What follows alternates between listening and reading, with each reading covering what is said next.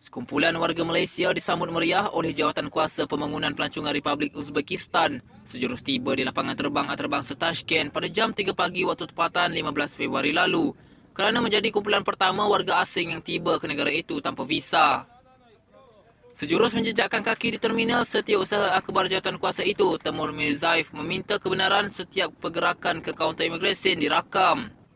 Kumpulan 23 pelancong Malaysia itu diketuai pengarah urusan Zahafiz Travel and Tours, Datuk Sri Zainal Abidin Yusof yang menjadi kumpulan pertama warga Malaysia yang tidak menggunakan visa.